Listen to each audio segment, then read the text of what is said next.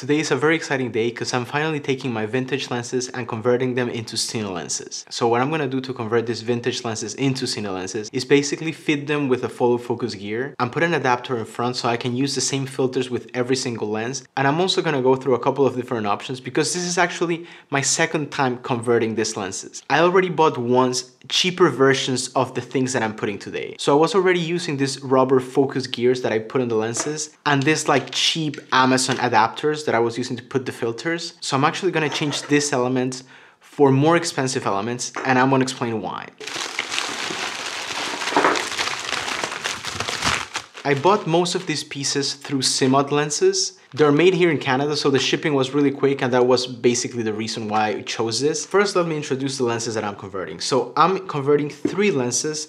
They are all in M42 mount. And funny enough, this set is not from the same brand. A lot of people will try to build a set from the same brand to get the same kind of look. In my case, I'm not using this for professional work. It's for my own personal use and just for fun. So like I don't need them to match perfectly. And when I tested this mismatch set, actually it fits pretty well. Without further ado, these are the lenses that I'm gonna be converting today. This is a Kitstar 28 millimeter I bought this thing for super cheap, like $20 I think, and it's 28 millimeters 2.8. I didn't find a lot of reviews online about it. I took a bet and it's really, really good. The second lens is probably the most famous M42 lens, which is a Helios 44 M4, 58 millimeters. This is not the vintage model that's more famous, but it's like a newer version. It's still really good and it matches really well with the 28 millimeter. And the final lens is another lens that I bought on a whim and I just saw it online for like 30 bucks and I decided to take a risk on it. It's a Vivitar 20 millimeter. The only downside is that the aperture is just 3.8 but I love the distortion, I love the look on this lens. It's probably my favorite wide angle lens I've ever used. So let's start first with the 20 millimeters. For this lens, the conversion is a lot simpler because I decided not to buy a metal focus ring for it. I'm actually gonna use one of the rubber ones I already had. And that's because the focus on this lens works really well. It's really smooth, I don't need to force it. And weirdly enough, the diameter of the lens is so big that it kind of stretches the ring enough so that it's tight against it. And the combination of those two things make this rubber ring work perfectly on it. By all means, these rubber rings are not perfect as we're gonna see when I move on to the next lenses, but in some instances, they might work well. What I am changing though it's the front ring. I already have an adapter here and this is like a cheap adapter I bought on Amazon. It's really thin. It does what it's supposed to do which is convert the 82 millimeter front ring to a 77 millimeter front ring so I can put my filter on it. The problem comes when I use my matte box. I have a SmallRig matte box that attaches directly to my lens. To attach this to the lens, it has a snap-on adapter that basically only works with 80 millimeters front diameter. And that's why I chose to buy these adapters from Simmod lenses. Because the specs of this is 77mm front thread for the lenses, but also 80mm outside diameter. So in theory, the matte box should fit perfectly with this. The other problem with these Amazon adapters is that they're not all the same size. It's millimeters, like there's a millimeter difference, but like one, it's really loose, while this one fits pretty nice and tight. But because they're too thin, they slide in way too much. So now it's time to adapt and then test on this thing. This is an 82 to 77 millimeter front thread adapter and that makes it fit perfectly. Check. Ah, much better. I didn't even tighten it and it's really solid on it. And now because I've adapted the front of the lens, of course the cap doesn't fit anymore. So I just got this cheap 77 millimeter front caps from Amazon. There you go, that's it. First in a lens, converted. Then let's go to the 28. And for this lens, I will install the new focus ring. In this other two lenses, it's a lot harder to move the focus ring. So when I had this ones on, my follow focus kept slipping on them, which is why I decided to go for the metal ones. This ring is metal. It's just one side. And as you can see, it's a lot bigger than my lens. But it comes with several inserts to adapt that ring to the size of your lens. This one I bought is 62 to 65 millimeters and it comes with rubber rings for every single one. So like 62 millimeters, 63, 64, and 65. And it also comes with a little roll of tape that is used to micro adjust the diameter. So if one of these rings is a little bit too big and the other one is too small, you can add a layer of this tape to get to the right fit. In this case, this lens is the 63. So I take my 63 millimeter rubber band and I place this inside of the metal ring.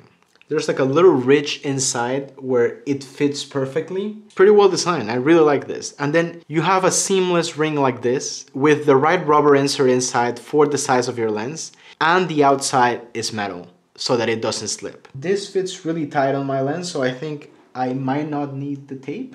Yeah, this is really tight. Even if the focus gear is really hard to move, it follows with me, it doesn't slip at all. At the end, I'm gonna try with my follow focus to see if it slips or not. Now we're doing the front ring. This is 55 to 77.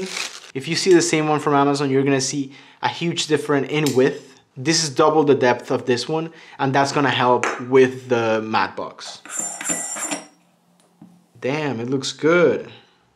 I like how this looks. Again, I'm gonna test it with the matte box just to see.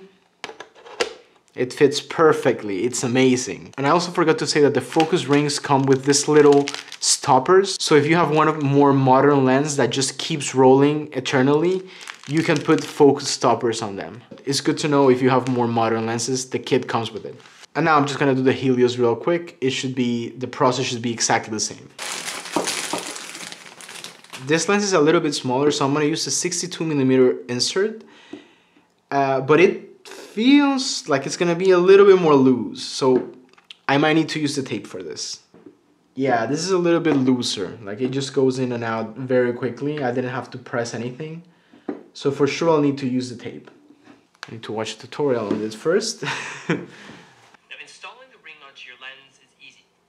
I actually had to watch the tutorial to make sure I was not screwing up this tape thing. And one crucial step that I missed before is that they recommend putting the focus to infinity before fitting in the ring. If you're doing this, just watch the tutorial before you do it. Don't do what I do. And yeah, to apply the shim tape, you basically apply the tape inside of the metal ring before putting the rubber ring in. I hope this is enough.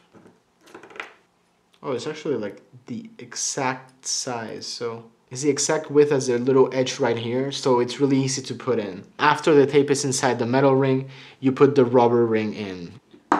Focus to infinity. Yeah, that's a lot tighter. It's really good. Yeah, now it doesn't move. Like, no matter how much I roll it, it rotates the whole lens. And then, the last front ring, which is a 52 to 77. And that's it. My three lenses are cine converted. So now I'm gonna rig up my camera to try it with the whole thing, the matte box and the follow focus and see if it slips or not. It's done, I tested the three lenses with the follow focus and the matte box and they all work perfectly. And you know how in the beginning I said like, oh, I don't wanna spend the extra 60 bucks to get another focus ring? Well, I should have. There's a day and night difference between these rubber things and the metal gears. Don't get me wrong, it works and for $2 it's fine, but it feels flimsier and comparing the focus experience with the metal rings, there is a huge difference. This feels mushier, like it turns, but it doesn't feel as responsive as pulling focus with these gears. The moment I tried these gears, it feels like it's attached to the lens. It feels like if it was screwed into the lens. I'm really happy with the products. The knurled front rings are also really nice. They are deep enough to be flushed against the matte box and because they're knurled and not flat, that creates friction so the matte box doesn't come out. They all fit, so they are 80 millimeters in size, and the filter fits as well on every single one. I'm super happy with the quality of this cine conversion. I wish I had done it sooner. It is really worth it if you want to use your camera in a rig. This really makes it feel like a tiny cinema lens. And if you're doubting about it, I would say definitely do it. It's worth every single penny. I hope some information was useful for you if you're looking to do this with your own lenses. If you have any question about the process or doubts, you can leave them in the comments down below. If you enjoyed this video, give it a like and subscribe. And yeah, with that done, see you next time.